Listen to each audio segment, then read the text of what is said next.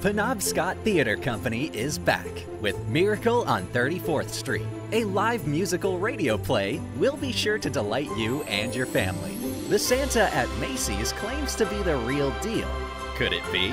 Follow the story all the way to the highest court in the land, where we find out if Santa is real or just an imposter. Do you believe in Old Saint Nick? Music, dancing, and a thrilling story will enchant the entire family. Miracle on 34th Street, a live musical radio play running November 18th through December 26th.